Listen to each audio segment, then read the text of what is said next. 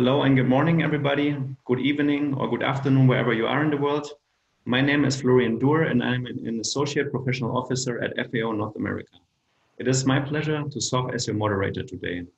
On behalf of the Food and Agriculture Organization of the United Nations and our distinguished speakers, welcome to this webinar on reducing food loss and waste during COVID-19 and beyond. Feel free to let us know who you are and from where you're joining us in the chat box. We encourage you to post your questions to our panelists throughout the webinar in the Q&A box at the center bottom of your screen. Kindly state your name and affiliation and to whom your question is directed. During the Q&A session, we will try to answer as many questions as possible. Follow us on Twitter at FAO North America and join the conversation using the hashtag FAO Insights and Food Waste. Make sure to read the full bios of our distinguished speakers today, which will be posted in the chat box. Please note that this webinar is being recorded. Food loss and waste, of course, is not a new problem, but it has gained increased attention due to the COVID-19 pandemic. High levels of food loss and waste, while millions of people go hungry, has always been a central contradiction in our food systems. As millions of people around the world lose their jobs and livelihoods due to the pandemic, news about fresh produce being plowed under, milk being wasted, potatoes being buried, and livestock being euthanized have become especially unbearable, multiplying the urgency to address this issue.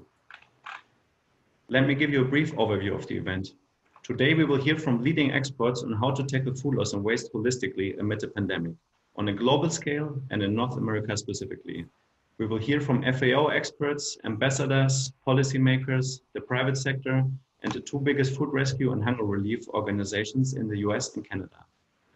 After welcoming remarks from Vimlendra Sharan, Director of FAO North America, we are honored to hear from Ambassador Beleffi how San Marino and Andorra played a key role in establishing an International Day of Awareness of Food Loss and Waste. Rosa Rolle, who leads FAO's work on food loss and waste reduction, will present key recommendations for action based on a recently published policy brief. After this global perspective, we are honored to hear from a distinguished panel on the North American perspective. Before coming to the Q&A session, answering questions from you, the audience, Carola Fabi will present FAO's new and innovative big data tool on food chains under the COVID-19 pandemic, underscoring the importance of data and information for evidence-based responses and policies. Without further ado, let me hand over to Vimlendra Sharan, Director of the FAO Liaison Office for North America. Mr. Sharan brings with him more than two decades of national and international government leadership experience focusing on rural development, agriculture, and food security issues. Vimlendra, over to you. Thanks, Florian, and hello, everyone. While Florian was speaking, I just did a quick check on the registrants and found that over 700 people have registered, and they're coming from all parts of the world, and that clearly establishes the level of interest that we have in this topic across the globe. It's not surprising that though COVID-19 is primarily a health pandemic, it has in its aftermath left a global economy contracting by nearly 5%, and many businesses, including those in food and agriculture sector, doddering on the verge of collapse and closure. The pandemic's impact on food loss and food waste has been immense.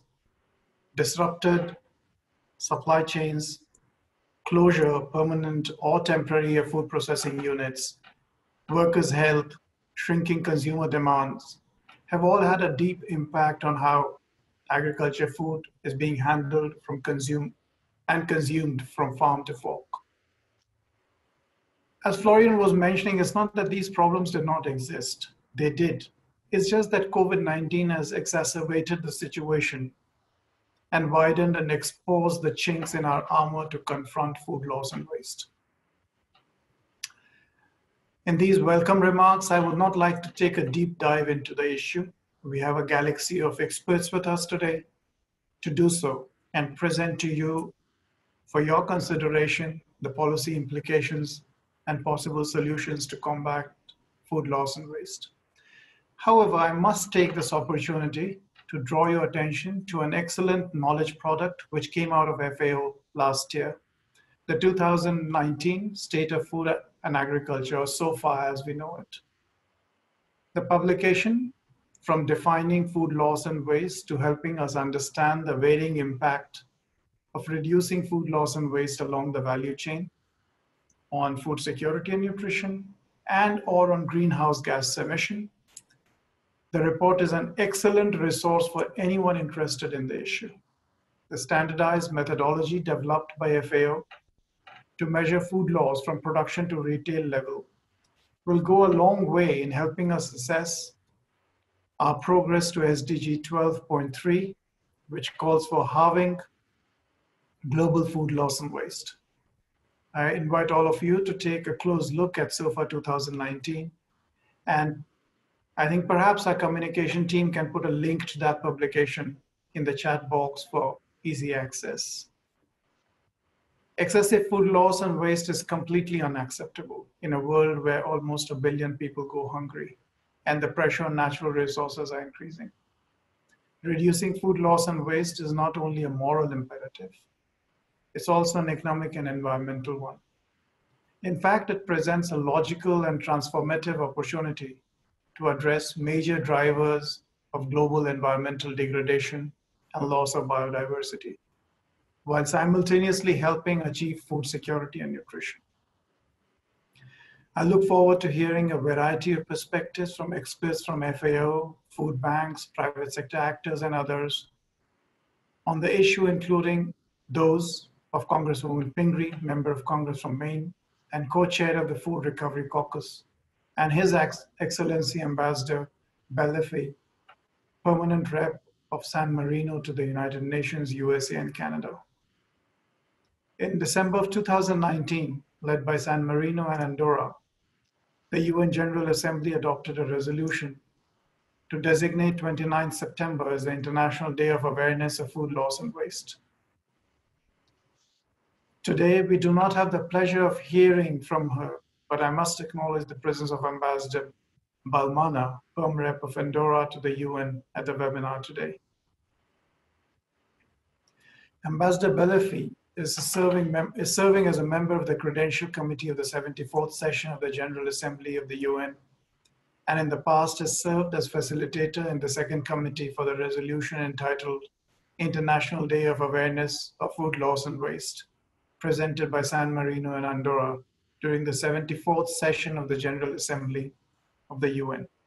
It is my pleasure to welcome all of you to this event and to invite Ambassador Beleffi to take the floor and offer his remarks. Ambassador, the floor is yours. Good morning. Thank you, Director, for your generous presentation. Uh, it's a pleasure for me to be here today. And first of all, let me uh, congratulate you for, uh, for, for, organizing such an important event and also for inviting me to participate to this, on this panel.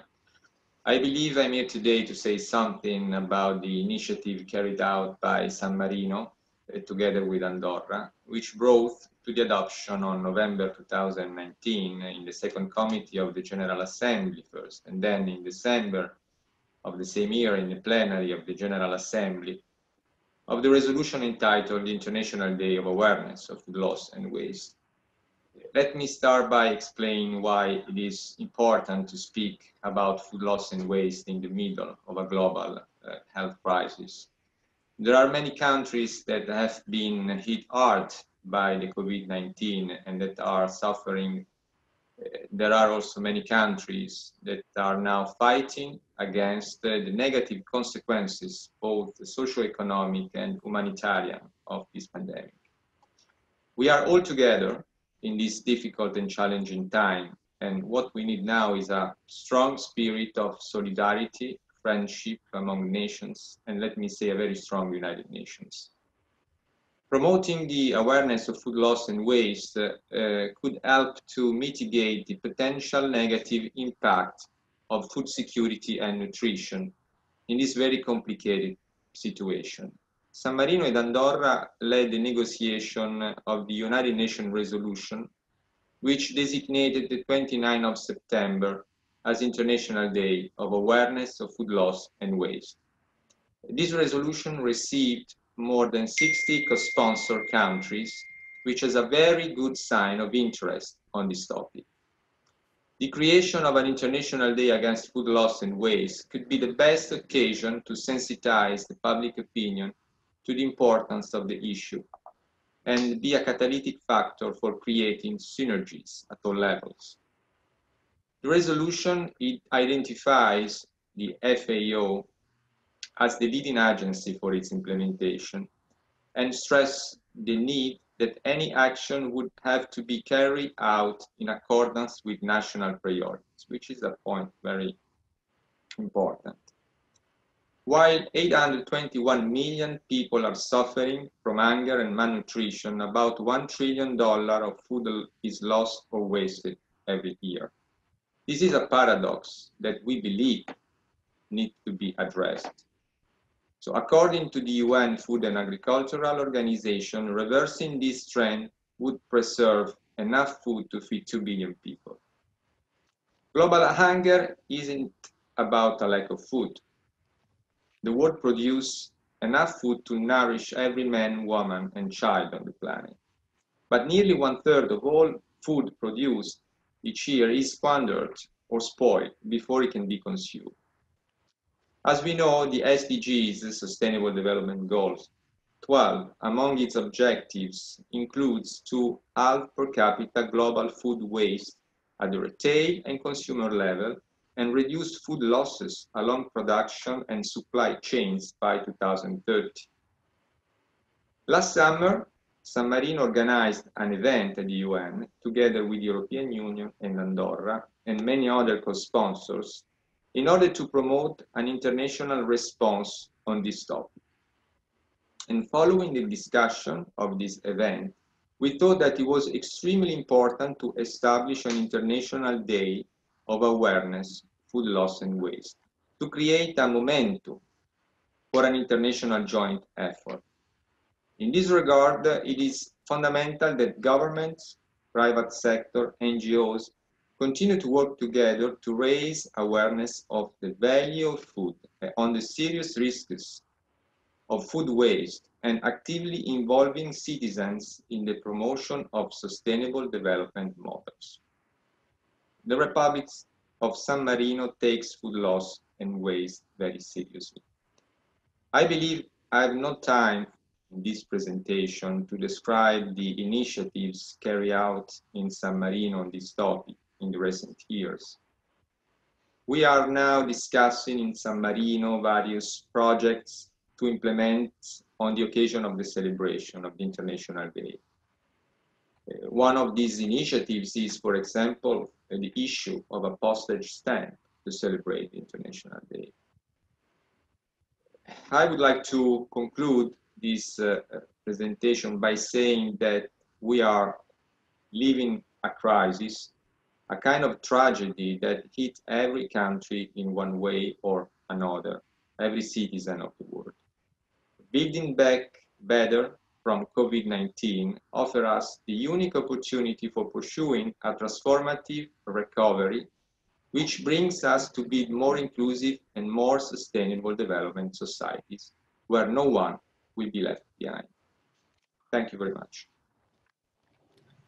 Thank you very much, Ambassador um, Beleffi, and thank you also again to Ambassador Vives Balmaña of Andorra for your important leadership in passing this resolution. So um, could you let us know what led San Marino and Andorra to lead this very important international process? Eh, as I tried to also cover this, this question in my presentation, we understood that uh, uh, we need at some point uh, to join effort for an international response because the paradox that we have in front of us is that we have enough food to nourish every man, women, and child on the planet. But at the same time, the waste of food and the loss of food is uh, so much that will create this paradox so that we have enough food, but we can use it because we squander we spoiled. It's, it's simply is lost and wasted. One trillion of food is wasted or lost every year. So uh, this is a kind of uh, uh, problem that, that, cannot be solved just by a single, uh, one country. We need to join our effort and work together in order to address problems like this. That means that we have to strengthen and we have to renew an international cooperation on this on this on this topic. One of the things that uh, was important for us to do is before to raise awareness on this topic, and the idea to uh, uh present a resolution uh, in order to establish an international day of awareness of food loss and, waste, uh, um, food loss and waste was was important for us. At the same time, it was a kind of a coincidence of the testing. We, we, we knew that we went to uh, the office of FAO to present this resolution. We discovered that FAO uh, last year, during the month of June, if I'm not mistaken, the director will correct me if I'm mistaken, uh, adopted a resolution asking the Secretary General to um, to to to um, to establish through a resolution international day on this topic. So we had uh, Andorra and San Marino and FAO more or less in the same time, the same idea. So the process uh, that we started was uh, supported strongly by the FAO. And thanks to the FAO, we also uh, will be able to have a very important and strong resolution. Uh, that's the reason why we we succeed also. Excellent. Thank you so much, Ambassador. And uh, indeed, congratulations again for the passing of the resolution, and uh, which is of utmost importance not only to FAO but really to the whole global community in its effort to achieve the Sustainable Development Goals. Uh, we encourage all of you participants to observe, observe the first ever International Day of Awareness on Food Loss and Waste this 29th of September and we encourage you to, to use the remaining three months to think about your own campaigns and events on this important occasion. Uh, where we work, where we shop, where we eat and what we eat has changed during the pandemic. Between lockdowns, travel restrictions, reduced air freight, consumer panic buying, and abruptly lacking demand from restaurants, schools, and other institutional buyers, food supply chains have seen dramatic disruptions and require new and creative ways to avoid that food is being lost or wasted. We will hear more about this topic from Rosa Rolle, who is a Senior Enterprise Development Officer in FAO's Nutrition and Food Systems Division, where she leads a team working on food loss and waste reduction. Her almost 25 years career in FAO includes seven years at the regional office for Asia and Pacific. Rosa holds a PhD in food science from Ohio State University in the United States. Dear Rosa, the floor is yours. Thank you very much. Good, uh, good day, good evening, everyone. Um, my presentation uh, today is titled and focused on mitigating risks to food systems during COVID-19, uh, reducing food loss and waste. Um, much of what I will present is actually um, based on a number, the compilation and analysis of a number of uh, reports, uh, news and media reports. Um, now, as was highlighted by Ambassador Beleffi, the coronavirus um, pandemic has really highlighted to us a number of weaknesses in the, our food systems. Food supply chains across the globe have been disrupted by blockages and transport on, in transport routes, transport resist, uh, restrictions, and also quarantine measures during a number of lockdowns that have taken place globally.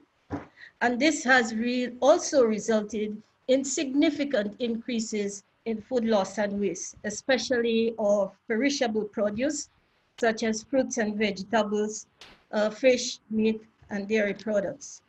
Um, and then the traditional supply chains of fruits and vegetables in most developing countries have been very strongly impacted um, and threatening the food security in many of these countries um, in both the rural and the urban sectors. Now, when we look at uh, this chart, what I would like to highlight to you is the differences um, between the, the, different char generalized characteristics of the traditional supply chains, which are those chains that feed mass markets in these in the developing world and they predominate versus the modern systems which would be what we characterize as a value chain that is very well equipped with the technology um, and the logistics systems um, it, to support and facilitate access to high-end markets as well as to trade. Whereas if you look at the green column, um, what you have here are a number of production-driven trade chains with stakeholders who often lack technical capacity, uh, knowledge, and also they have limited uh, competitive organizational, organizational capacities or capital to invest in new technologies to be able to upgrade their practices. Uh, the levels of these uh, losses in these chains can go as high on under normal circumstances before pre-COVID, for example, up to 50%. And uh, nevertheless, as we say, as I've highlighted, the bulk of the food supply action in many developing countries is based on these types, categories of traditional supply chains. Trying to move my slide. Okay. Okay, so this slide is intended to provide some perspective on the some of the actions and the technologies that I'm talking about when I refer to these supply chains um, because FAO has done a lot of field work, and that's one of the main target groups that we work with in many of our, in many of the countries that we support. Um, to look at the critical loss points in these traditional supply chains. And indeed, we consistently see transport systems as a, a critical loss point um, in fruit and vegetable supply chains with uh, inadequate and poor packaging as a major underlying cause. But when you look more closely at the various actions that are taking place in these supply chains, you see that uh, the manual hauling of produce, if you see the guy with the basket on his back, why? Because there's a lack of infrastructure, feeder roads to connect the farms, especially in mountainous areas to major roads. Um, you also see the number of times that produce has to change hands before it actually gets to a market. Every time it has to change hands and it's handled, what happens? You have quality loss. And then when it gets to the market, it's packaged in these single-use plastic bags where you have, again, unsustainable practice, environmental practice, where you have a lot of sweating, accelerating the rate of decay and spoilage. Um, and also, if you look at the number, take note of the number of individuals that are involved in the different steps of every supply chain. With COVID, uh, what we see, which we, we have seen is shortages in labor. Not moving. Okay, sorry um, shortages in labor uh, in the supply chains of this type have resulted in food being left unharvested in the fields and also increase the transit times between the farm and the market. In many of these traditional supply chains, the transit time under ambient conditions is 24 to 48 hours. But now they're averaging three, even up to five days and the lack of working capital, affordable inputs, and difficulties in sourcing inputs is also a major issue that is resulting in really low quality crop outputs in a number of countries. Also, with a number of international border, uh, border closures coupled with national and sub-national lockdowns, trade in agriculture produce and related value chains has significantly reduced a, cas in, a cascading backward impact. And it all and that goes all the way to the farm gate level with adverse effects on the small scale processors as well as on the incomes, the livelihoods of smallholders and of course high levels of food loss and waste. When we look at what is happening on the demand side, the onset of the pandemic, I can't get those slides to change here, has changed uh, a lot of the, the food um, the food consumption habits in, in many developing countries.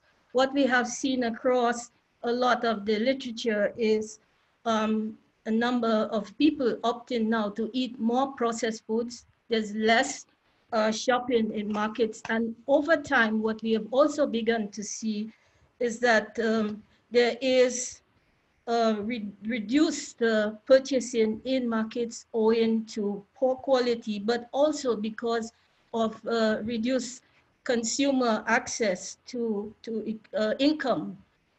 And so therefore, needless to say that in order to avert food crisis, government attention is consistently now and increasingly focused in countries on addressing food security issues to ensure, and then to also to ensure health um, and income opportunities to be able to provide and make available uh, fresh foods that are safe and accessible and nutritious to consumers. So what I have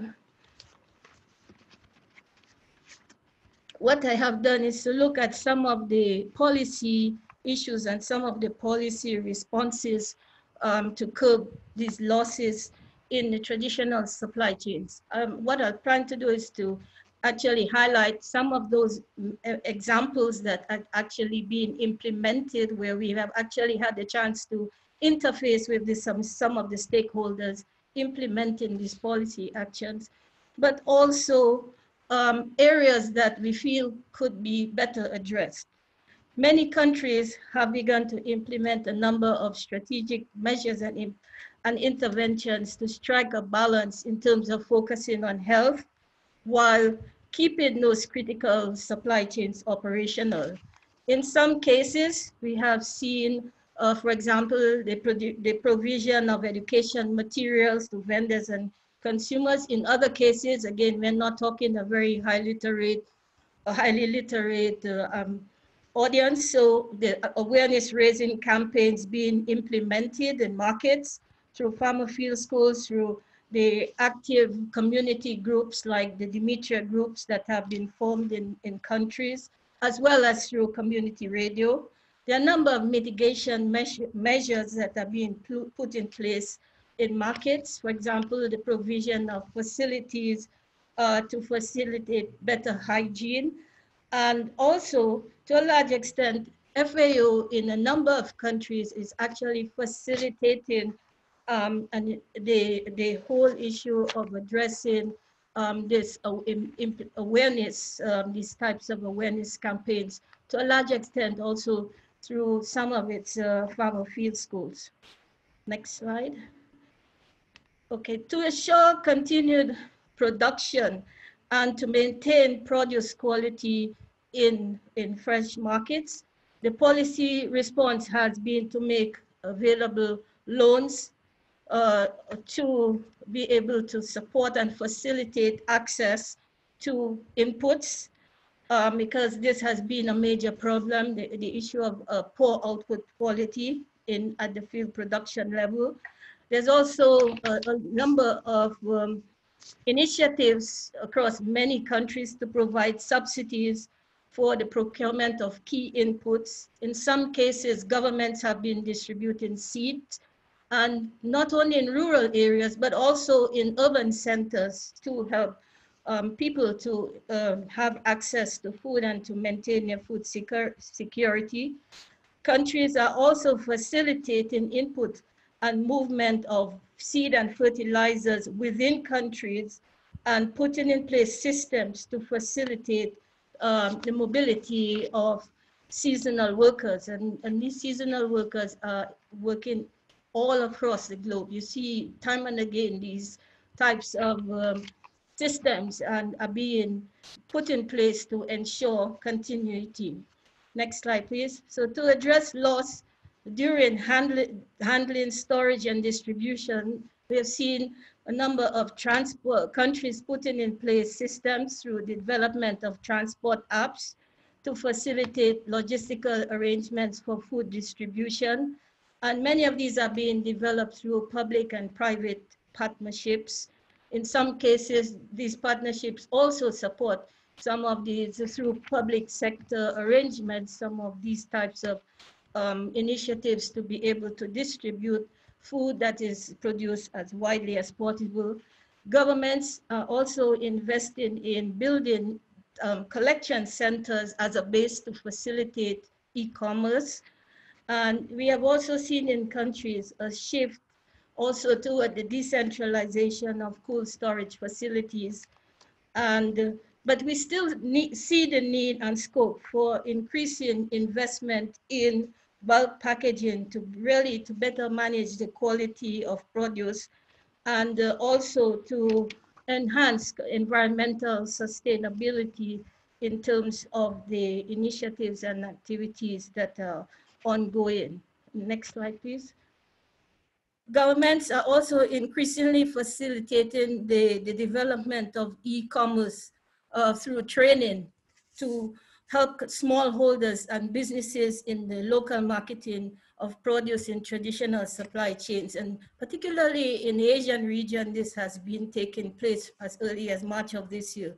And in the African region, you see a number of young people, the youth are taking up these types of initiatives.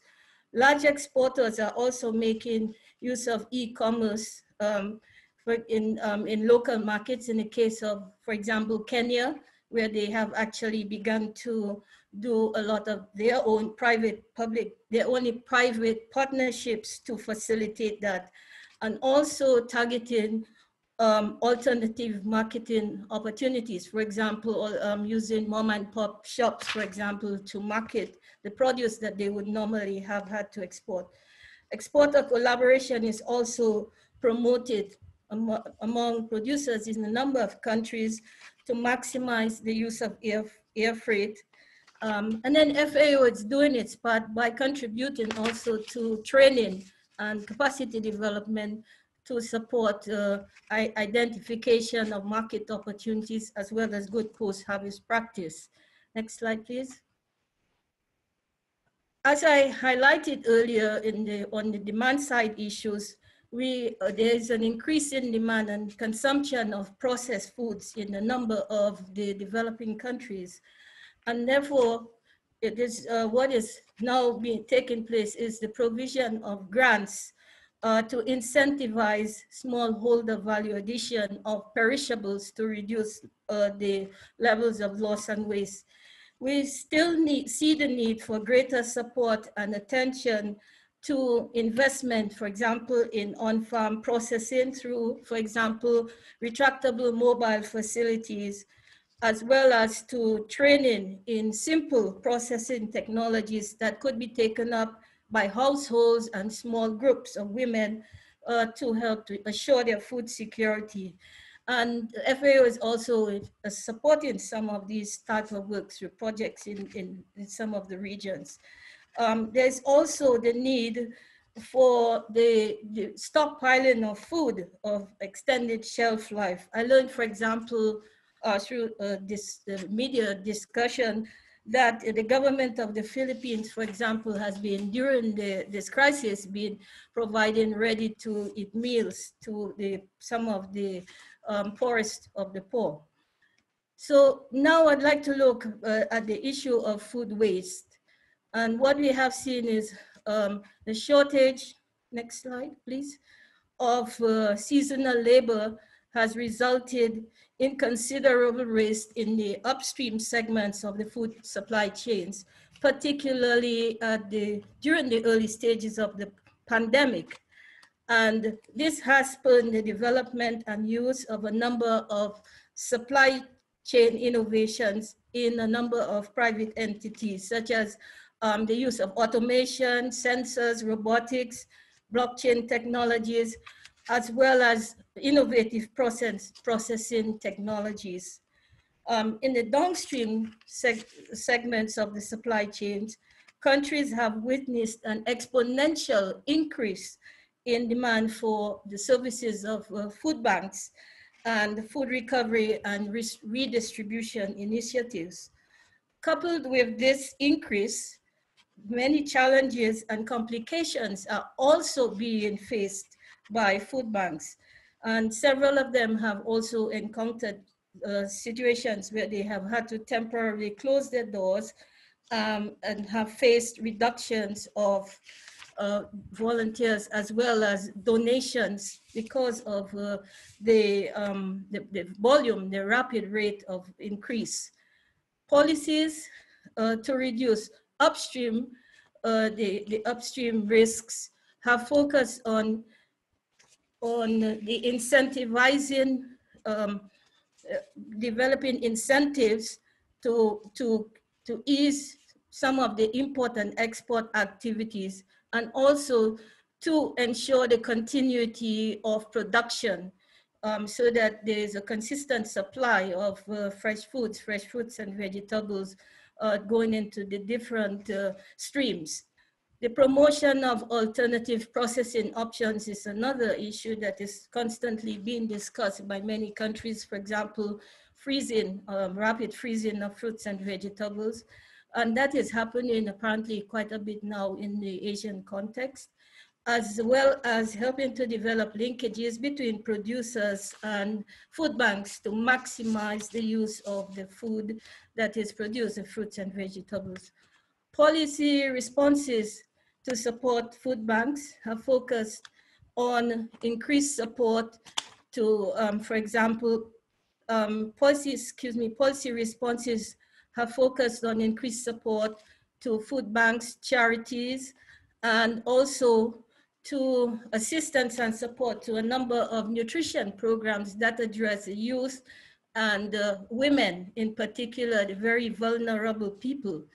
And then also there's been a number of efforts to focus on educating manufacturers and consumers and retailers to really understand and apply the best before and use by dates appropriately in order to maximize the use of food and uh, food and uh, redistribution efforts because uh, quite often even consumers um, are also being targeted for this because quite often a lot of food in Europe, for example, currently before, sorry, before the pandemic, you had up to 10% of food that was purchased by consumers being thrown away because of a lack of understanding of uh, these issues. So the next slide, please. To summarize, while to a large extent my presentation has highlighted areas for uh, government support for, and private public partnerships, we believe that collective efforts and innovative partnerships among a broad spectrum of stakeholders of coming from different segments and different sectors will have a significant impact in maximizing the use of food that we produce in ensuring food security for all and really to having an impact on reducing the high levels of food loss and waste that we have to now deal with um, because of the COVID pandemic. And this concludes my presentation. I thank you for your attention. Thank you so much, Rosa, for your presentation. And it's indeed a daunting task to grasp everything that's going on around the globe, which is FAO's mandate. And thank you, Rosa, for reminding us that there's a difference between traditional and modern supply chains, and that while developing countries often face bigger problems in food loss, developed countries often face bigger issues in food waste. Um, so thank you very much for the presentation. If you have questions for Rosa, make sure to post them in the Q&A box and we will try to get to them during the Q&A session. Um, we will now move from a global perspective to North America and focus on the US and Canada. And we are honored to have with us a distinguished panel on the North American perspective, featuring Congresswoman Chellie Pingree, Meghan Stasz from the Consumer Brands Association and the Food Waste Reduction Alliance, Blake Thompson from Feeding America, and Lori Nikkel from Second Harvest Canada. We are really looking forward to your insights and learning how COVID-19 has impacted your important work on food recovery and hunger relief and which solutions you are championing. We will start with remarks from Representative Chellie Pingree, Member of Congress for the 1st District of Maine and co-chair of the bipartisan Congressional Food Recovery Caucus. As many of you might or might not know, Chellie Pingree actually is a farmer herself and started as an organic farmer on the small island of North Haven, Maine in the 1970s. In Congress, Chellie relies on her experience as a certified organic farmer to support the diverse range of American agriculture, including sustainable, organic, and locally focused farming. As a member of the House Agriculture Committee and the House Appropriations Subcommittee on Agriculture, she has been vocal advocate for food policy reform. Pingree has pioneered legislation to reduce food waste across the American food system and is the founder and chair of the Food Recovery Caucus. Congresswoman, thank you so much for joining us today. You have the floor.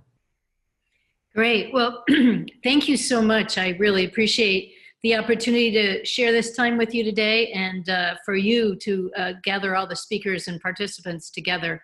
Um, I have enjoyed listening to the uh, previous um, speakers, and I think that if we just adopted the FAO guidelines, thank you very much, Rosa, we um, would be all set in the United States as well as anywhere in the world. Um, but I'm looking forward to hearing um, from all of you and many of the things that you are talking about and suggesting today, and I will just give you a little bit of an update of where we are um, in the United States in, in a time that is extremely complicated for this issue and so many others. Um, I have actually been working on the issue of, of food waste for uh, quite a long time. And um, I have to say that this moment in time has brought a new level of attention, as all of you know, uh, while we're dealing with a global pandemic. Um, but bringing that back to the United States, for many people, it's the first time they have ever gone to the grocery store and seen empty shelves. And uh, they're also witnessing a whole variety of other experiences, whether it's long lines at the food bank or the situation that many American farmers are in today, that have brought attention to this in a way we never could as a public policy discussion. Um, that's given us a, a, lot of opportunity, I think, to look for solutions and, and talk about um, how to fix these problems at a difficult time.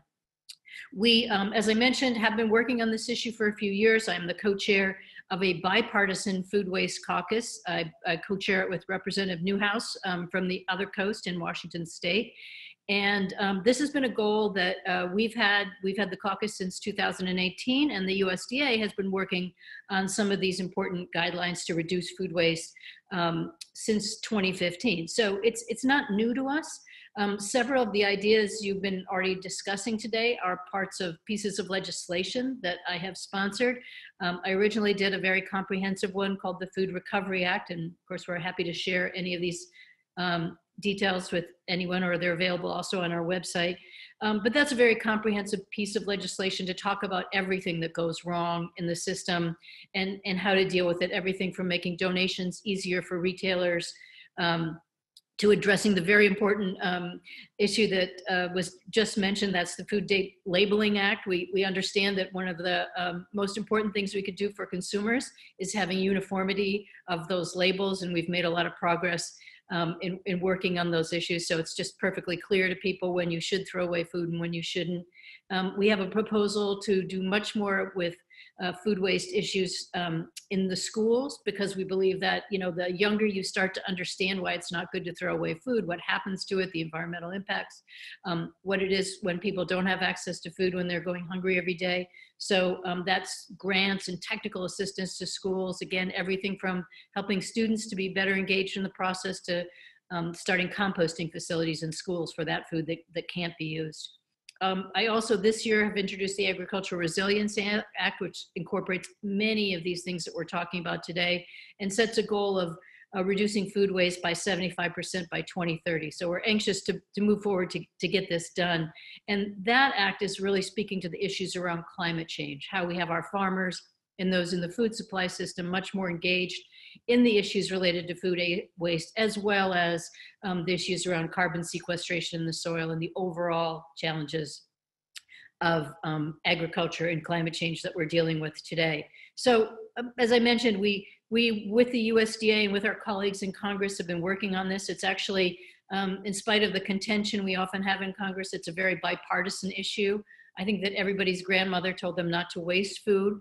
And people, when you, they hear these statistics that 30 to 50% of our food is wasted, um, they start to understand that this is a serious issue, particularly when you have people going hungry and when you're facing the environmental and resource challenges that we have today. So let me um, just fast forward a bit to the crisis that we're in today. As I said, we've we've laid a lot of, of groundwork on this and, and done a lot of background. But today, in the midst of this pandemic, um, people are really seeing in a very different way the challenges with our supply chains and the challenges um, here in the wealthiest country in the world where we have an abundance of food, but it often doesn't get to the people who need it. Um, once again, we've we've uh, had the chance for people to go into a grocery store for the first time and seen empty shelves, to have concerns about whether or not it's okay to eat certain foods or pick up the produce. What are the safety issues around eating food? Um, at the same time, they're watching um, television footage of farmers who are plowing under, um, you know, hundreds of acres of, of, vegetables that were produced at the wrong time or were produced um, for a different segment of the supply chain and can't get to the place where it needs to be. Um, the tremendous challenges we've had around animal slaughter uh, due to uh, the pandemic in, in, in, in our enormous slaughterhouses in this country and our vertically integrated system and very consolidated system. And then we have farmers who, um, because of our precise system of agriculture, just sort of this just-in-time supply chain. When the hog is ready to go to the slaughterhouse, if it's not, if there's not the capacity because it's shut down or or working at a different rate, um, many have had to been slaughtered and not even been able to get to someone who needs the food and is hungry. And at the same time, you can turn on your TV in America and see cars lined up, you know, for a very long way of people who have never been to food banks before, who have never had to access this kind of um, food assistance now being um, in this time of need, but not being able to access the food that is literally going to waste in the field um, and creating a whole nother host of challenges for us. Um, we've, we've put some uh, funding levels into some of our earlier packages to deal with the pandemic, um, trying to increase uh, availability of food through school meal programs, through our SNAP assistance program. Um, the USDA has created food boxes, which um, attempt to access some of this food from a variety of suppliers and, and get them directly to people. Um, some of those issues we agree, some of those uh, solutions we agree with, some of them that we don't. Um, and we are proposing um, a, a, different way of looking at this um, and a chance to open up looking at our entire supply chain, which is deeply connected to this issue of food waste. And so just a couple of, of things about that. Um, and I won't go into our whole comprehensive look about it, but we've been continuing to make suggestions and are looking for ways to use this crisis to reform some of the things in our system. We see a huge opportunity now to have much more support for local and regional agriculture. It's been an issue we've been working on for a long time, but particularly in this moment in time where our supply system has failed us and some of our consolidated systems have failed us, people have found that they can go in their community down the road and they can sign up for a CSA, which is a you know a, a way to access food or they can buy from their local farmer or they can even shop online and have a delivery made to their house in ways that we never accessed this technology before. It's a great way to support more local and regional agriculture and get away from some of the problems that we have of food waste in our in our very consolidated systems. Uh, we, we now see um, a need for many of the uh, things that were early discussed earlier, and that's the shortage of infrastructure. I've worked on for many years um, the uh, attempt to get more capacity in our, our, local and small slaughterhouses because people are more and more interested in buying locally raised meat or, or having access to that, but there's often not the infrastructure capacity. So um, mobile slaughterhouses, um, more aid for small slaughterhouses, um, also in other kinds of processing. It was just mentioned in the FAO um, suggestions that uh, we need a lot more infrastructure around fast freezing or processing food when we have too much of it, but it has to be more local and regionalized because uh, we're, we're not going to continually have the ability to have you know big farms that ship to one centralized freezer packing facility or canning facility. So we are looking at a whole variety of those things and again have renewed interest in a way i've, I've never seen before. And while it's a you know it's a it's a sad reference to a a huge challenge that we're facing today. It does force people to look at this supply chain that's been, um, you know, some of it directed strictly to restaurants and food service, which many of which are closed today, and some of which going directly to consumers. A change in interest of people wanting to buy more locally, a huge opportunities for our farmers to have these markets, um, and to reduce um, that that that um, that waste that we're, we're um, seeing today. In the long run, in conclusion, you know, this is just critically important, um, as, as previous speakers have mentioned. Um, it, we are plowing so many resources into growing food in America today, and that is water, that is labor, things that we will not have um, at, at, at at, at, the scale that we've had in the past. Our labor shortages are huge, protecting people who work in, in uh, farm labor or food processing labor is getting increasingly important um, as we look out into the future and also have to address the issues around climate change and limited supplies of things like water. We cannot keep over processing food and not getting it to the people who need. Um, this is an environmental problem, as we all know food waste um, turns into methane gas and becomes some of the more toxic issues that we're dealing with in the environment. And as somebody mentioned earlier, it's just a moral issue. We cannot have so many people going hungry, whether it's in the United States or around the world, when we are literally dumping and destroying food because we cannot design a, a system that's appropriate to use. So I look forward to working with all of you. I think we're going to have um, uh, much greater opportunities in the United States um, to to revise and change some of these things in our system and uh, you know as as has been observed um, far from being a leader right now in fixing the problem we are um, suffering from many of the challenges that countries around the world are experiencing right now. And that will give us only greater impetus uh, to fix those problems and um, to work both on a national and international level. So again thank you so much for letting me join you. Thank you to everybody who's um, you know, on this today and, and speaking about this and working on this, I think we have to all pull together and work together to solve uh, one of our biggest challenges today. Indeed. Thank you so much, Congresswoman Pingree. And thank you uh, for your inspiring words and also reminding us that this is an opportunity to tackle this issue, raise public awareness, that this is an environmental issue. We should not forget the environmental dimension of food loss and waste and also that uh, we have to look at the whole system. So thank you so much for your important work and your uh, inspiring remarks. We will now move to an interactive panel we'll hear first a private sector perspective, followed then by the two biggest food recovery organizations in the USA and Canada. Uh, we're excited to hear from Meghan Stasz, who's the Vice President of Packaging and Sustainability at the Consumer Brands Association, she joined the association in 2010 and has over 15 years of experience in the environmental sustainability field. At the Consumer Brands Association, Stasz works on issues such as recycling, waste, sourcing, supply chain sustainability, and other topics that pertain to the consumer packaged goods industry. Among other initiatives, she's leading the national effort to address the broken recycling system.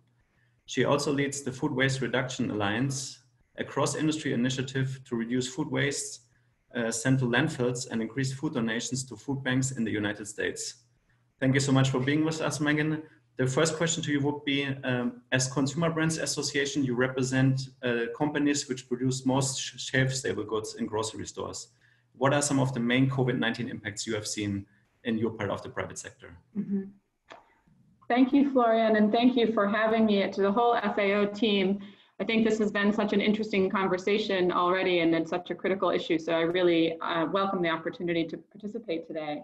Um, I'm Meghan Stasz, as Florian said. Um, I have two roles. Uh, one is leading sustainability for the Consumer Brands Association. Consumer Brands used to be a group called the Grocery Manufacturers Association. Some of you might have heard of us then, but Consumer Brands represents the leading food, beverage, and consumer products companies in the US. So our members are companies like PepsiCo, Coca-Cola, General Mills, Procter & Gamble, Clorox, companies like that.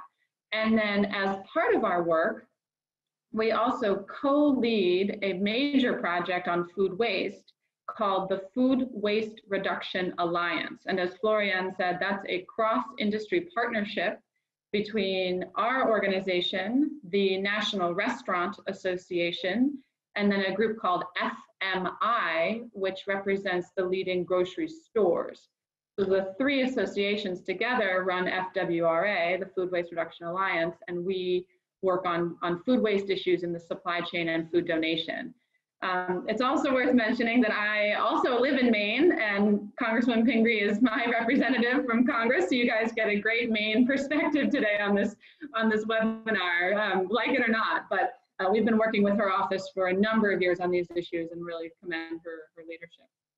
Um, so Uh, to get to your to your question, Florian, I think we've seen, you know, we we as an industry have been working on food waste and food waste reduction in our operations and increasing food donation for the past 10 years. We started the Food Waste Reduction Alliance back in 2011, understanding just how critical these issues are to consumers and to the environment and to business. What we have seen with the COVID pandemic is an unprecedented disruption in our entire supply chain and in our entire lives. We have seen tremendous changes, not just in where consumers get their food and where they consume their food, right? So grocery stores were shut down, restaurants were shut down, um, you know, people changed changed where they could get their groceries, how often, but we also saw a change in what consumers were getting, right? As, as the congressman was mentioning, you know, for the first time, many Americans were, were seeing um, stockouts, unavailability of product on, on shelves. And so, and, and so as we look at this supply chain and these tremendous disruptions, I think we, we have a lot of really great lessons to learn and also a lot of really great examples of how innovation and collaboration and quick thinking, frankly, across the supply chain can keep those critical infrastructure, that critical food system running and getting it to, to, to all kinds of consumers, but especially those in need. I think that the disruptions that, that the congressman mentioned of seeing um, products getting plowed under at the farm level or farm animals going to waste and then you know, huge long hours lines at food banks here in the in the U.S. They were they were heartbreaking stories, and I think we've seen some great innovation in um, recognizing those breaks in the supply chain and finding ways ways to fix them. So the major impacts of COVID that we have seen from a food waste perspective were really around such a disruption in where consumers are getting their food, but then also what they're getting in terms of reduced, you know, in terms of perishable food not being available, uh, changing their purchasing habits in terms of buying maybe more shelf-stable food and the like. Um, and so it's been a it's been a very interesting journey, and I think we've got some great examples to share on the panel today from an innovation perspective. Perfect. Thank you so much. Um, you already mentioned the Food Waste Reduction Alliance. So what new challenges and also opportunities do you see for food recovery in the current pandemic? Yeah, I think that's a really good one. The reason that we launched the Food Waste Reduction Alliance back in 2011 is because we recognize not just the importance of food waste reduction and food donation, but also the critical nature of collaboration. What we recognize is that food waste happens all along the supply chain. And so it's going to take all of the partners in the supply chain to reduce food waste in our operations and, and make sure that we're getting food to those in need. So I think one of the things that we have done very well through the Food Waste Reduction Alliance is those ideas around cooperation and collaboration. But I think especially with the COVID pandemic, it's well, what can we do do more of? And just last year, for example, the Food Waste Reduction Alliance signed um, a memorandum of understanding, an agreement with three federal agencies here in the US, with the Environmental Protection Agency, the US Department of Agriculture, and the Food and Drug Administration to collaborate, collaborate and work together around food waste issues, but especially around ways, raising awareness, um, strengthening uh, understanding of liability protections for those who donate food, and finding ways to get more infrastructure options um, in different parts of the United States so that when we do have food waste, it's not going to landfill. So it's going to compost or it's going to make energy. So those kinds of partnerships I think are really critical. And one of the things that we saw during the COVID pandemic, I think, was an unprecedented amount of partnerships and eagerness to engage through FWRA and others. I know the American Trucking Association, for example, launched a really tremendous initiative to pull together a broad group of stakeholders to provide a forum for all sorts of partners throughout the supply chain to identify uh, solutions or, or ideas that they might have to solve some of these immediate supply chain disruptions that we were seeing.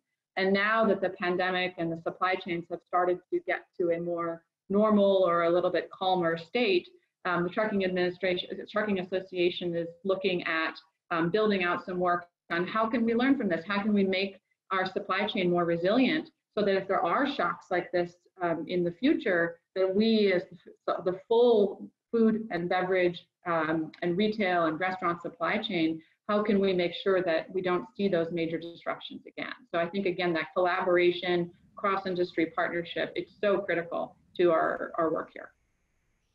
Thank you so much. Indeed, uh, if food loss and waste is really a multi-sector issue, it needs multi-sector action. Um, now, with the crisis, there seems to be an increased use of food packaging, single-use plastics, which often ends up in landfills, soils, and oceans, about which many consumers are concerned about. Uh, what role do you see for more sustainable packaging and recycling systems? Yeah, I think if COVID taught us anything, it is that there is a need for all different kinds of, of packaging and products, and also a need for recycling systems that can handle those, those that packaging and those products packaging plays this really critical role in getting food to consumers safely and with quality intact. And especially during the COVID pandemic, the safety of food and food packaging was really on, on full display. As consumers use more food at home, especially more packaged food at home, it's really clear that we need a recycling system throughout the US and certainly around the world that can handle that packaging, that can use that packaging to make it back into packaging, make it to, into another product, and absolutely keep it out, not only out of landfills, but out of the environment. So I think there's a role to play for this kind of packaging, especially from a food safety and quality standpoint, and especially as we think about um, supply chain disruptions and resiliency of the supply chain, but we also have to have a resilient recycling system and waste system that can handle and process that. Excellent. Thank you so much. My last question to you is what is the key lesson learned from this pandemic and what would be your call for action? I think it's really resiliency and, and creativity. As, as we have looked at some of the actions that were taken, even just by, by my member companies, I think we've seen just some tremendous innovation and a commitment to doing the right thing. Uh, we know that um, General Mills, for example, um, repurposed one of their uh, lines of operation and, and did a whole run of $5 million worth of uh, food that they produced and sent directly to donation. And that was shelf stable product like granola bars, frozen breakfast items, cereals. We know that Kellogg has, has given $7.5 million in food and funds for, for food donation. PepsiCo has donated over 50 million meals. Know, we've really seen some creative repurposing of, of supply chains or maybe parts of supply chains or operational lines or you know companies really stepping up creatively to, to do their part. But i think the call to action here is how can we look at these at our supply chains holistically? How can we look at these challenges from a resiliency standpoint and try to take some of the lessons learned that we've learned and make sure that we're applying them to the supply chains of the of the future Perfect. Thank you so much. If you have further questions for Meghan, please put them in the chat box and we will try to address them in the Q&A session. Our next speaker is uh, Blake Thompson, who is Chief Supply, Supply Chain Officer at Feeding America. Blake has built a long career in the food industry and has extensive end-to-end -end supply chain experience. He has had responsibility for every function of the supply chain, including demand planning and management, sourcing, procurement, transportation and logistics, technology, production, research, development, quality, and safety. Thank you so much for being with us, Blake. Uh, as Chief Supply Chain Officer, you're responsible to increase the amount of nutritious food available through the immense Feeding America network uh, with over 200 food banks for people facing hunger. What are some of the impacts you are seeing in supply chains and food donations? Glad to be here. I appreciate the invitation to uh, attend this forum, and I think it's great work. And uh, I've been with Feeding America for almost two years, um, and this is my um, uh, first uh, entry into um, uh, a uh, not-for-profit and charitable food. it's been interesting. Um, you know, to to your question on what we've seen with donations, you know, at the very beginning of the pandemic, um, there was a huge run on retail grocery uh, items. Um, Meghan pointed those out, created a huge demand and reduced supply. One of our largest uh, donation streams for our organization is retail uh, food. And that put a very uh, hard um, uh, uh, decline in some of those food streams that we were realizing prior to um, COVID. Um, the uh, the uh, the impacts extended all the way into the manufacturing arena in the retail segment. Um, it it forced our our network to begin to purchase more shelf stable food to fill the gaps um, in the declining channel. Um, we're still purchasing at a higher level of shelf stable food as the supply is constrained, and this is not a um, uh, uh, financially uh, uh, uh sustainable way of supporting food, charitable food uh, for our system. But, um, you know, and as schools, Meghan pointed out, schools and restaurants and places of work were shutting down. We saw the food service industry uh, see a, a, very significant decline in their business, which, which, which caused inventories to back up through their supply chain.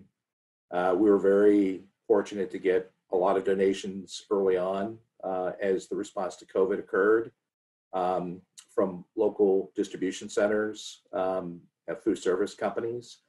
Um, mostly it was the, the perishable foods, so the dairy, protein, and produce items were very plentiful at the very beginning of COVID through the, the um, food service channel. Um, we, um, we've also seen a increase in our uh, availability of, of really protein and dairy and produce. That's been our primary go-to foods uh, as we've tried to make up some of the other channel declines that we've seen. They've been available. Um, and uh, however, um, a lot of the food service product is not uh, conducive to distribution in the charitable food system. So we've we've acquired as much of that food as we can, um, and our food banks are just not in a position uh, to uh, be able to repackage that food in distributable format. So that's another obstruction within the supply chain of being able to get food that's available um, from source to where food may be needed through the charitable food system. Um, the the uh, the increase on the on the uh, uh, food service side has not fully uh, filled the gap of the retail food decline that we've seen and more of our efforts have been around the um, uh, produce and dairy items uh, that have uh, more abundance and more applicability to, to our system. Excellent. Thank you so much. So we've talked a little bit about the supply side. Could you let us know on the demand side, what are some shifts in demand you're seeing uh, in your networks and what are some of the biggest challenges facing food banks in the US at the moment? So not only have our food banks been challenged with increasing demand, we've seen about a 60% increase for demand at our, our network food banks for charitable food. Um, some of that demand is coming from, um, Rosa pointed it out, uh, people that have not uh, used the charitable food system in the past. So there's a new entry into this, this need. Um, we've seen um, uh, the increase in demand. At the same time, we've been impacted with a decline in volunteers. So the issues around social distancing and protecting our uh, uh, food bank uh, employees, agency employees, volunteers, uh, and also our clients have uh, forced us to look at some very creative different ways from a distribution standpoint for the food. So demand has gone up. Uh, the, the distribution challenges have been increased as well. Uh, our network reports that about 20% of our feeding agencies, partner agencies, uh, have closed or diminished, uh, reduced their operations as well. So that's required some different ways of thinking about how we distribute food. Um, the uh, the requirements around zero touch uh, or no no touch as well have been impacted uh, with our operations for distribution. So um, we it, it varies in our system, but we have food banks that have access to a lot of food.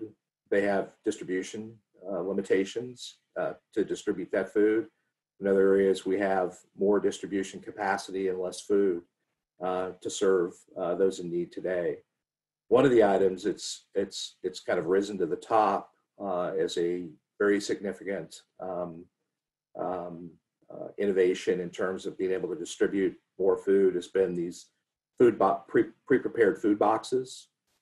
So we have we also uh, within the food banks have um, have have been preparing food boxes with as much shelf stable food as we can acquire, but we've also uh, been uh, afforded food boxes through the USDA, the CFAP program that started in June. And those have primarily been around produce, dairy, and protein items in those food boxes. And those we've seen we've seen millions of those boxes since since June. Excellent. Thank you so much and for the important work you do. Uh, what would you say? What is your key lesson you have learned from the pandemic and what would be your call for action? So this, I, I think we need to understand the scale of the problem. I think most most do, but this is huge. Uh, food waste and also the need for charitable food. Uh, our food bank system, although it's huge, uh, will recover and distribute close to six billion pounds this year uh, across the United States. Um, we're only part of the solution of this problem, and I think uh, Representative uh, Pingree uh, called it out perfectly is this is this is an issue of overproduction and it's also an, an, an issue of, of for food banks getting access to more affordable food and also having to overcome some of our distribution challenges uh, with infrastructure, whether it's cold chain, trucks, uh, but more distribution capability to serve more food to those in need.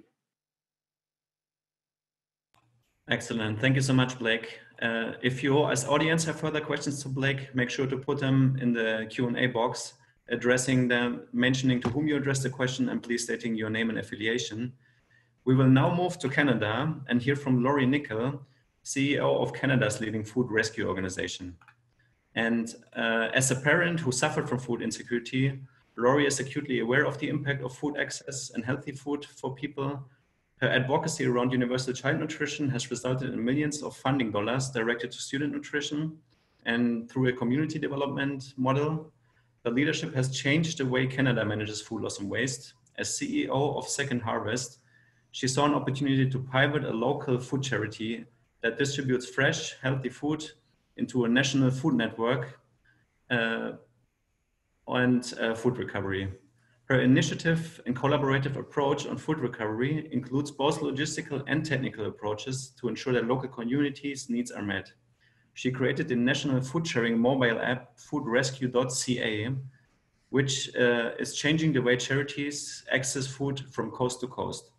To mitigate the detrimental impacts of COVID 19 on food insecure people, she immediately built a Canadian national task force with government and industry leaders to ensure supply could meet demand without oversaturating the charitable sector with one commodity.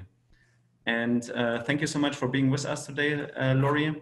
My first question, our first question to you would be, uh, could you tell us more about the situation in Canada and which COVID-19 impacts uh, you are seeing as Canada's biggest food rescue organization? Well, thanks so much first for having Canada on the panel. We're just delighted to be here, so yay. Um, so COVID-19 hit us pretty hard and pretty fast as it did everybody. We pretty much shut down uh, the middle of March. Um, and that really impacted not just the food system, but the charitable sector. So for our organization, immediately we went with safety first, obviously, as everybody did. Made sure that our staff had the appropriate PPE. We understood what physical distancing was. We stopped having volunteers immediately. And all of our office staff went home and we started working from home. And that was really, we want to role model that to all the organizations that we support, of which there are many, many of them. Second Harvest is unique in that we, we are 90% perishable and we don't purchase any food. It's all food rescue. And that means um, we have a logistics system in place, but not a huge one all over the country. And this food, from the food services stopping immediately, our hotels, our restaurants, everything was closed. It really increased the amount of surplus food that was available, but also in a way that was difficult to manage for uh, families because they were large packages. So we had to figure out a way of managing that in the best way. We also had meal programs that shut down. And so what happens to those community dining places? They shut down. The homeless shelters still need food we were fortunate in that the philanthropic sector, the corporate sector, really got behind food during the beginning of the pandemic and continued to do so. And so Maple Leaf Sports and Entertainment started, uh, they turned their, they turned the NBA uh, basketball court into a meal production site, producing, I think, half a million meals to date. And they're individually packaged to ensure that they're kind of grab and go because the whole charity sector changed in an instant so much of it is um, supported by our seniors population and our seniors were told to go home because this was they had compromised immune systems and this was a, a demographic that really should not be out in public and so uh, many of the organizations just stopped and many other ones just kind of popped up to, so it was a whole logistical change too of how do we manage all these new places and and second harvest we're not membership based we are opt in we have food We've done the research. In Canada, 58% of all the food we produce is lost or wasted. There's more than enough food to feed everybody. So let's make sure that they can have it. So COVID has changed us also in terms of we're a big country with not very many people. So just getting food from certain areas, like from the south of, of Canada, when most of our population is on the south, to the north of Canada has required a, a really significant infrastructure change. And that means um, trucking food up to northern parts of Ontario and then uh, having planes fly them into fly-in communities. And really, I think what that did with COVID really showed us a disparity between rich and poor in a way that Canadians, I don't believe, had seen it before. It was the first time that people with money, I think, felt hunger because they went to their grocery store and said, oh my goodness, there's nothing on the shelves. And that was the first time they kind of could identify with it. And so I think a lot of that has, has really just changed and opened a lot of Canadians' eyes to the reality of, of the, the hunger that is in a, a developed country, a wonderful country, but it exists. So our response has been swift and we are doing the best we can with all the support that we're getting and it's been um, in, incredible, I think, how we've managed. Thank you so much for these insights. Um, today we're trying to showcase holistic approaches to reduce food loss and waste and food insecurity at the same time amid the pandemic. So could you tell us more about the collaborative approach you're championing in Canada and how you coordinate with civil society, government, private sector, and even indigenous people I read? How did you do that? Uh, immediately we recognized that we needed to collaborate. The only way that we're all going to change the world is together, and we know that. And so on March 18th, we created we're, we're a bit behind Meghan. Sorry, Meghan, I'm so happy to hear this. So we created a national task force. It was the Food Rescue Canadian Alliance National Task Force. And that got charities, big charities, national, regional, United Ways, Red Cross, food banks, um, industry, that was retail to farm commodities and together in a room to really understand where the spikes in food are and where the gaps in so that we could connect the dots on that. We also did that with uh, the federal government. They were part of the committee, of the task force, uh, Agri-Food and Agriculture Canada. And we had an Indigenous uh, working group as well, because we have communities that people are often overlook. Um, and Second Harvest goal is always to leave no one behind. Like there are in urban centers, there's often a, a fair amount of support, but in those more rural, remote settings, how can we ensure that food gets to those communities? And so what we found was a lot of people wanted to help. So even getting into the north, instead of creating new systems, how can we piggyback on existing ones? And so we worked with Northern Stores uh, to allocate uh, funding and food to make sure that they could have it in the south. We worked with all the charities, all industry, farm, manufacturer, processors, you name it, government, regional, municipal. We all got together to make sure that we could ensure all of this surplus food, of which there is has already been a significant amount and has only increased, could get out before it got into landfill. Because second harvest first, we're no waste, no hunger. We really see the environmental imperative of keeping food out of landfill, and we want to make sure people access that food. And so we can only do that through collaboration. And that's what we continue to do. Indeed, indeed. Could you briefly tell us about uh, the role you see for digital innovation, especially under the current pandemic? Well, I think there's a role for all kinds of innovation. Um, we're fortunate, I feel like some of the things we did, it's almost as though we knew this was coming. Uh, we created an online platform and a mobile app called foodrescue.ca. Again, an opt-in system for food businesses and for charities and nonprofits that they opt in. If you need food, it's there. We already knew it was there. We already, and we had already just completed a mapping of all the charities and nonprofits across Canada, which had not been done before, to learn that there are 60,000 of them.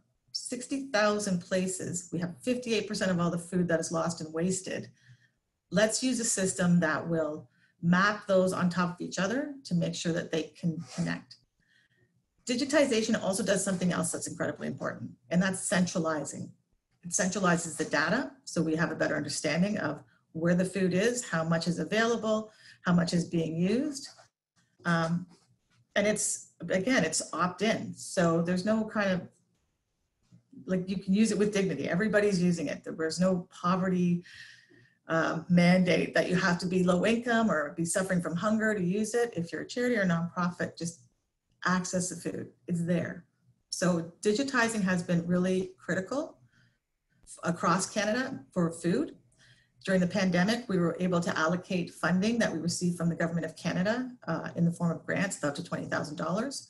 We had uh, philanthropists give us funding that they wanted to allocate, we could use that existing tool because it was in every community across Canada to allocate food, funding, grocery gift cards, take surveys, collect data. I think digitization and ease of use is going to be what's critical for businesses to get on board everywhere. Indeed, that sounds fascinating. And my last question to you would also be, what is the key lesson we've learned from the pandemic and what would be your call to action? I think the boldest interventions, the systemic interventions, are the only ones that are going to save the world. And in Canada, we had a Canadian Emergency Response Benefit, which is basically a basic income, and it still exists across Canada to ensure that, you know, it doesn't get so, so bad. And I think keeping those kind of systemic systems in place, we learned. We learned that there's a, a lot of food we've, uh, across our food system that needs to be rescued, but also needs to be processed. And what is that? What is the funding available for that to happen to make sure that we can process food, slow release it across our country so it's not bang, bang, bang. There's a billion potatoes, please take them. It's, you know, there, there there's a lot of everything. So those would be, oh, you know what the final one would be? Value food. Food is made for life the commoditizing of food has really been our downfall. The lack of a systems approach to food systems has been our downfall and one of the greatest reasons we have so much food loss and waste. That's it, I'm done. Great, thank you so much. Um, we will now conclude the North American panel and we'll move to a global perspective again because there's one important aspect we haven't talked about it yet in detail and that's the importance of accessing real-time information and data. So we probably all have heard the phrase, what gets measured gets managed, which is also true for food loss and waste before the pandemic and also during the pandemic. And often we see there's a big gap between perceived and actual levels of food loss and waste. Um, so we have the pleasure to have with us, uh, before we go to the Q&A session, Carola Fabi, who's a senior statistician at FAO, leading a team on methodological innovation, and she also is the focal point for SDG indicator 12.3.1, also known as the food loss index. Carola, over to you, and we're looking forward to hear more about the importance of real-time information during COVID-19 and new and innovative ways to understand the pandemic's impact on food chains. The floor is yours. Okay, thank you very much, uh, Florian. Uh, good morning, uh, good afternoon to everyone. So I'm uh, uh, Carola Fabian from the Statistics Division of FAO. So I'm going to share my screen. I have I will start with a short presentation and then we will move into the um, uh, directly um, uh, into the uh, the big data platform uh, that FAO developed. Can you see the screen? I'm sharing, huh? Am I? Yes, we can. And uh, can you see how the um, um, uh, the PowerPoint, the um, the PowerPoint, I mean the full screen PowerPoint? Is it yes, still? Uh, okay, cool. Right. So really, the question is, you know, what what are the challenges in uh, in measuring food losses and waste, and uh, and I'm really trying to, uh, I would like uh, really to to advocate for the importance of data and yet uh, the, the, the, the, need to find alternative solutions and alternative data sources in situation of need and in an unprecedented uh, crisis like the one uh, the world is, uh, is going through. So this is really just to, to set the stage. Uh, maybe some of you, uh, I mean, I hope all of you have heard of the SOFA report of FAO of 2000 and, of last year of 2019, whereby uh, FAO updated the global estimate for food losses and set the new percentage over the supply chain only, so not including consumption and the retail sector at 13.8%. And uh, data was also available by commodity group, like you see a slide, and by uh, country group. Now, to get to these results that are extremely aggregated, it took two years. It took two years to build the model, two years to check the data, and yet these figures are extremely aggregated and they are uh, they give a snapshot they give an overview. One can turn them into aggregate value. It's over 400 billion dollars worldwide but they are not sufficiently detailed then to make a decision and to reduce losses in a specific supply chain in a specific situation like we have heard uh, and you have the other analysts have explained uh, during their presentations and uh, uh, what I mean is that this is a representation of the officially available data, of the official data underneath the model. Of all the countries in the world, only 39 countries officially reported data on food losses to, through uh, FAO's Agriculture Production Questionnaire starting uh, many years back. So we're talking about a 30 years uh, long time series. And of the data that the countries produce, many are estimated on fixed factors. So they are useful to set a benchmark, they are useful to make an overall uh, uh, an overall estimate of food supply, but of course not to uh, monitor the impact over time or the change over time because it, it has been set a priori that losses are 5, 10, 15, 20, 25% of whatever uh, commodity is being uh, is produced um, in a certain country. Um, the columns are commodity groups, uh, and on the left one see good coverage for cereals, somewhat good coverage for roots and, uh, roots and tubers on the right, but the center is actually quite empty, and the very center is made of meat and dairy, and actually it's in dairy, it's in the dairy product uh, product. And it's on eggs that there have been a lot of uh, a lot of losses recently. So one sees that the uh, official data that are available not only are they scarce, but they do not address the immediate need uh, that the community and the countries uh, are uh, having right now uh, for uh, for that.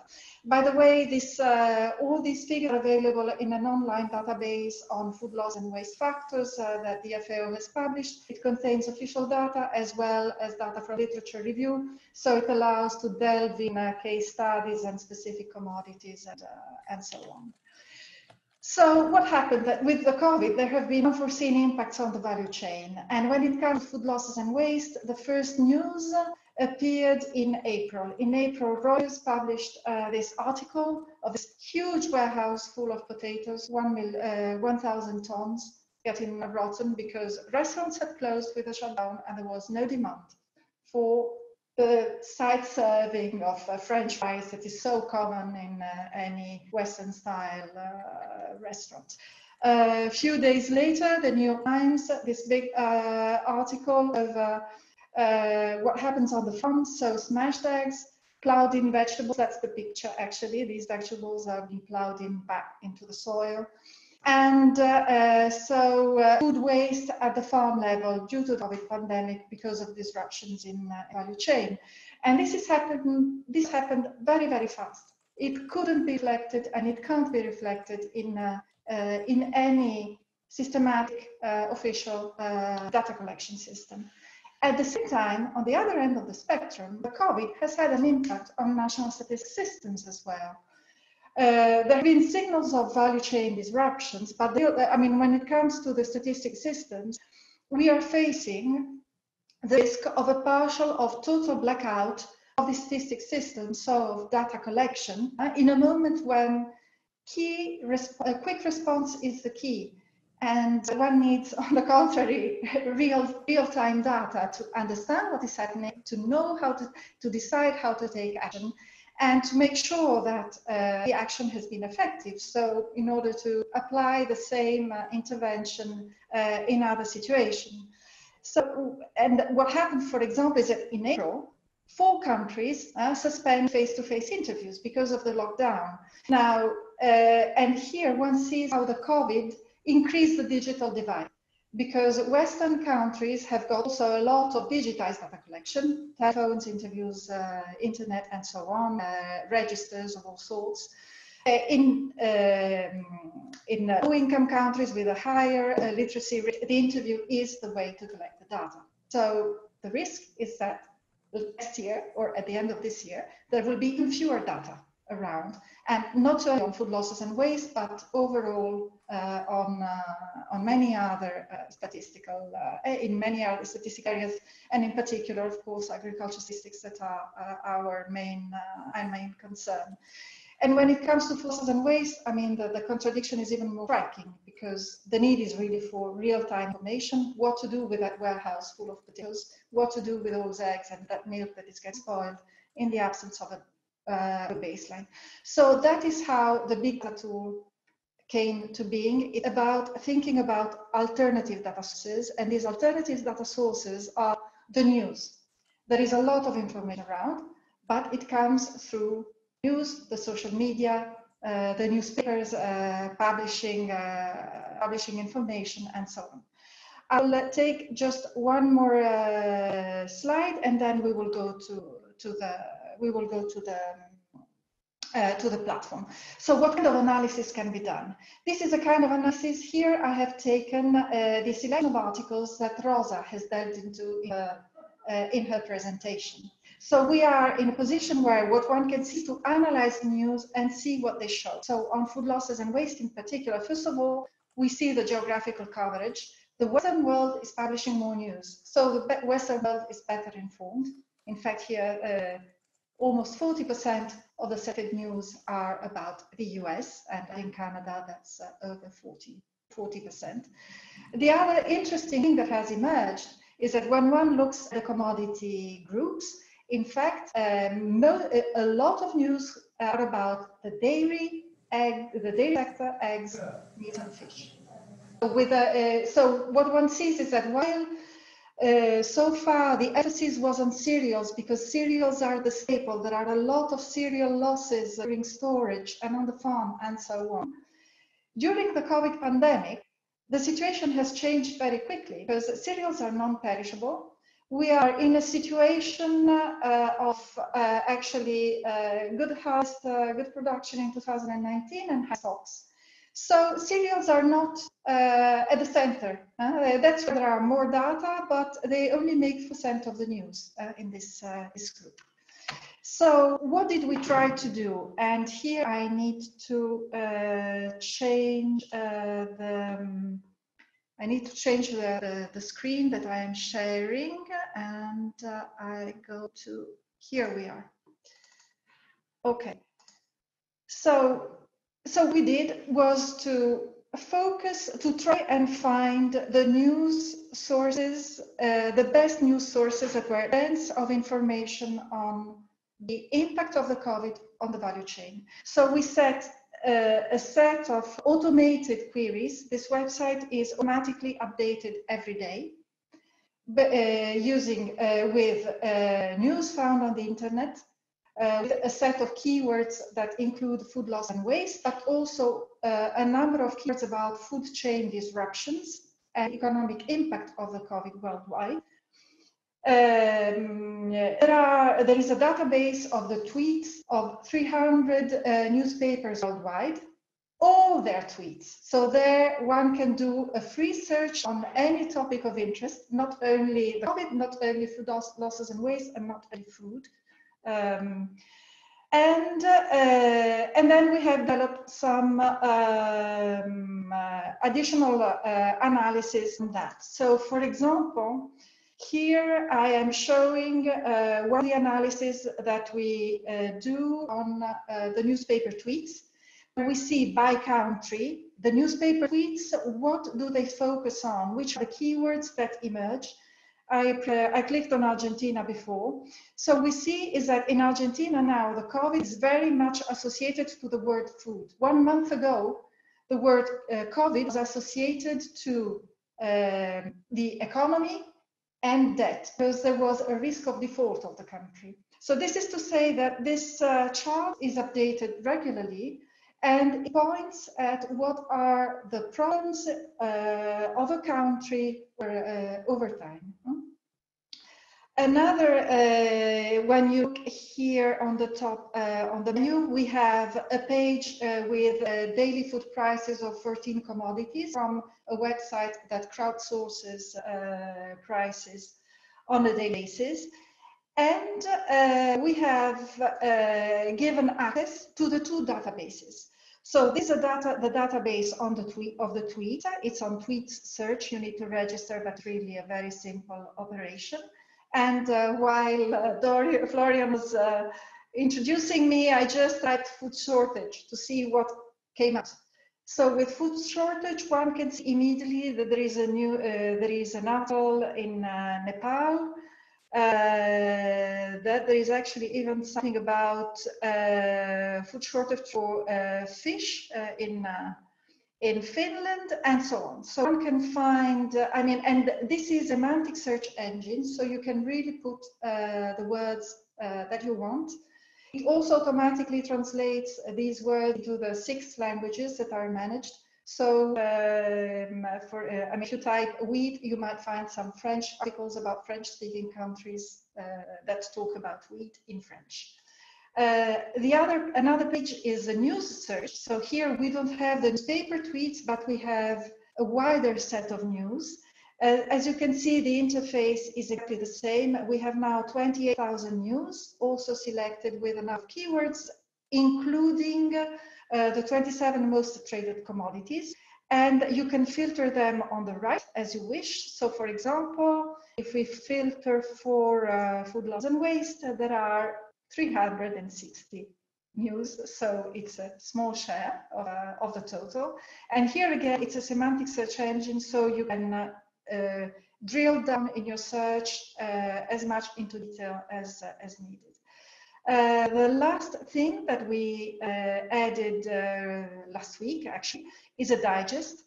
So every day, we publish the, we highlight actually the most important news of the previous day with uh, uh, in the chapters. So these are the main news on food chain disruptions in the broader sense, the impact on commodities and food prices. So uh, the drill down here, for example, we see sweet potatoes in Kenya, Vietnamese lychee, or uh, an article of the Global Price Watch. Countries' response, so a focus on the measures some articles about what countries are doing and about what. It can also help for inspiration, seeing uh, what is being done uh, elsewhere.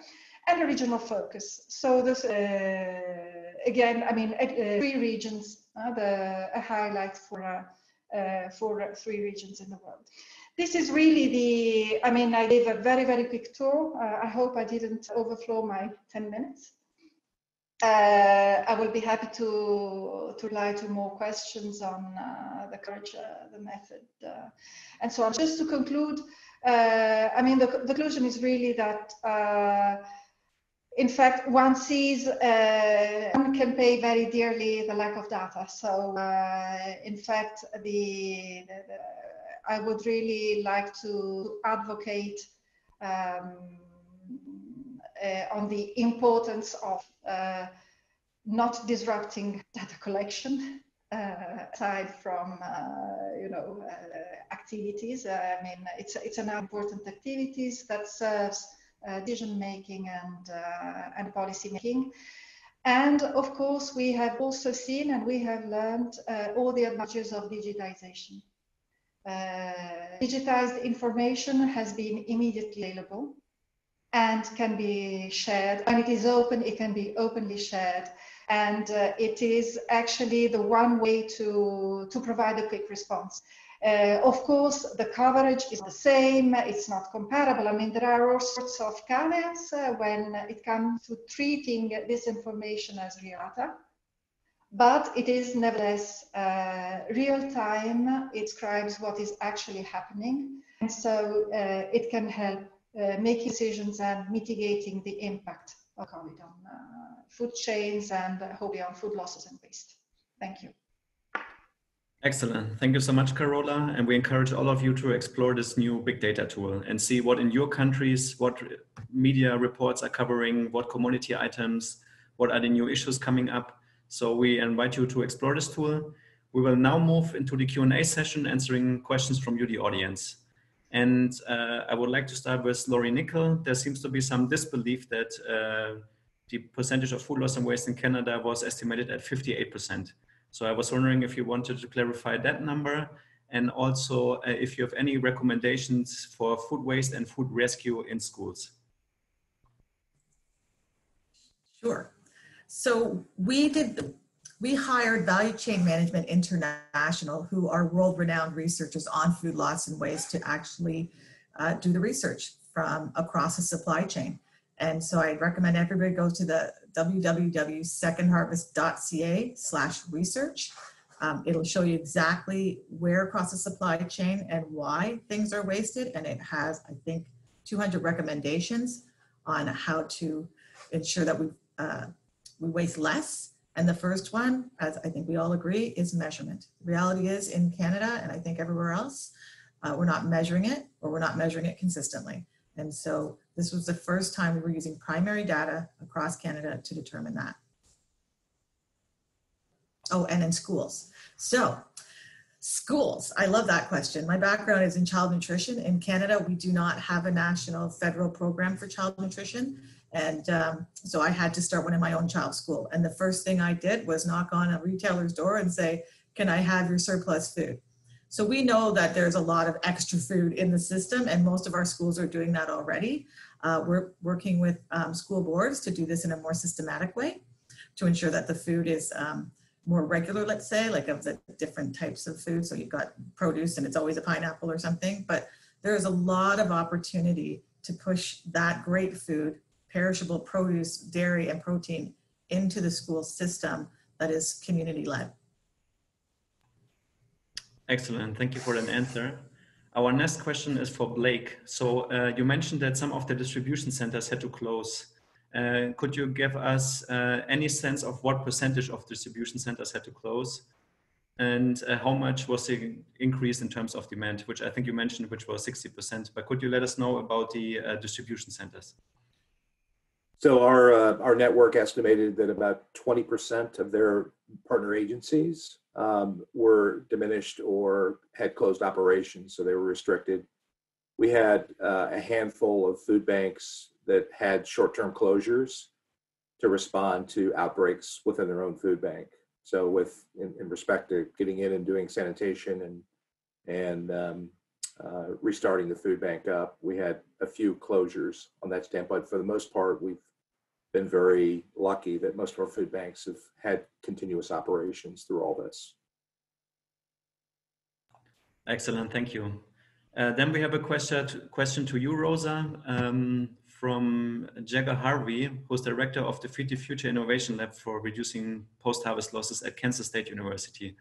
And the question is, how is FAO integrating food safety into reducing food loss and waste? Okay, thank you very much for your question. Uh, indeed, food, um, food safety is a, a cross-cutting element of all of the work that we do um, to address food loss and waste reduction in the supply chains in which we work.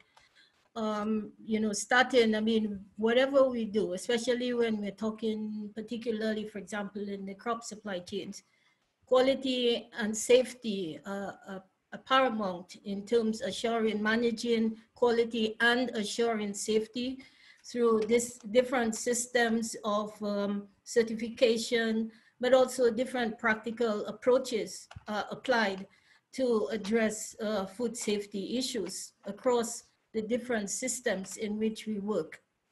Um, it's not only crops, wherever in, in terms of livestock, in terms of fisheries, it is a very, very important dimension of FAO's work. Thank you. Excellent, thank you. Um, we have one more question for Carola. What is the best met method for countries to measure food loss and waste? A survey, administrative records, and uh, could you share an example of a country which has uh, successfully collected uh, most of this data? Yeah. Uh, so uh, there is no single uh, there is no single method. In fact, sample surveys are um, especially food loss surveys can be quite complex and and expensive. So what we recommend is to use um, a mix of a mix of methods uh, in order to keep costs, uh, collection costs under control. Uh, the sample surveys are providing the, um, let's say, the, the soundest and representative results, so the best results in a situation where there are a lot of small uh, businesses. And um, and so the uh, the only way to capture uh, to capture the average to capture the distribution and uh, to have an accurate measure is to have a representative sample. So we are talking here about for example the smallholders the small farmers the smallholders in uh, uh, in low income countries. Uh, when the market uh, the activity is uh, integrated and there are a few big actors, two large companies who are vertically integrated and who keep very accurate accounts and who have a sound um, grip on their uh, on their production processes and they know very well uh, how much they they lose then the, the company's records are are just uh, are just as good. And um, uh, even, uh, uh, for example, when it comes to food processor, to have also some technical factors from the industry can can be reliable enough at the at the count level. But if there are only few actors, of course, who cover the vast majority of the uh, uh, market, um, we are also uh, favorable to modeling losses, but then when the model is entirely replacing the collection, then it has to be soundly tested and uh, and developed. So it's uh, I mean it's it's quite a demanding work at the beginning. Then of course there are lots savings down the road. I mean on the when it comes to updating the the model just with a few uh, with a few variables. That's the so. Um, but to come back to the uh, to the question, uh, so because we our guidelines and our our documents, I mean, we we strongly recommend the sample service, but of course it is with in mind the idea of a small uh, in, uh, I mean, of a uh, of an info sector made of a lot of small of small actors. There, it is the really the the way to to get to an accurate an accurate estimate. Okay, thank you, Carola. And our last question goes to uh, Meghan. Do you see, are there any plans in the Food Waste Reduction Alliance to help set up recycling infrastructure? There we go. Um, the the um, Food Waste Reduction Alliance is not currently working on packaging recycling infrastructure, but we are working on food waste recycling infrastructure like anaerobic digestion or composting. But recycling infrastructure, especially in the US, is a critically important issue and project for the Consumer Brands Association. We know that we have to use packaging in order to get many kinds of food, especially highly perishable food, safely and with quality intact to consumers all around the world. And also that packaging can often really prevent waste and, and especially food waste, um, which has an enormous greenhouse gas impact and climate impact. So, um, but the recycling and the collection of that packaging is equally important to the waste prevention. So we have launched a major initiative around recycling, putting out a policy platform in April with some concrete ideas on how we think we can really fix the recycling system and the waste system here in the US um, to make it work better for consumers, for the environment, and, and for the business communities. It's a major initiative of ours. Excellent. Thank you so much, Meghan. With that, we will conclude our session and we really thank all of you for bearing with us for almost two hours. It's such an important topic and we're happy that there's such a big interest in it. In conclusion, I think we've seen uh, that as with many other issues, COVID has really exposed and exacerbated some of the pre-existing challenges in our food system, and that includes food loss and waste. And uh, reducing food loss and waste is crucial to increase the efficiency and sustainability of our food systems, delivering better nutrition and food security, as well as environmental benefits. There is still an urgent need to raise awareness about the economic, social, and environmental impacts of food loss and waste. And the coronavirus crisis could be a key moment to address these diverse and complex challenges that cause food loss and waste. Uh, we want to encourage you, all of you again, to observe September 29th as the first International Day of Awareness on Food Loss and Waste as a new opportunity for action that will come every year and invite you all to join the global campaign. One further announcement on 13th July, the 2020 State of Food Security and Nutrition in the World report will be released at the High Level Political Forum in New York, which will include updated numbers on global undernourishment and malnutrition and underline the need to transform global food systems for affordable, healthy diets. On July 14th, we invite all of you to a discussion on the key findings of the report co-hosted by FAO North America and IFPRI, which will feature high-level speakers such as the FAO Director General Qu Dongyu and IFPRI Director General Johan Swinnen. Please be on the lookout for this event announcement. Thank you one more time so much for our distinguished speakers, for our panelists, for all you as participants, for all the food heroes from farm to fork who keep our food supply chains going. We hope you stay safe and stay tuned. Thank you very much for joining us today.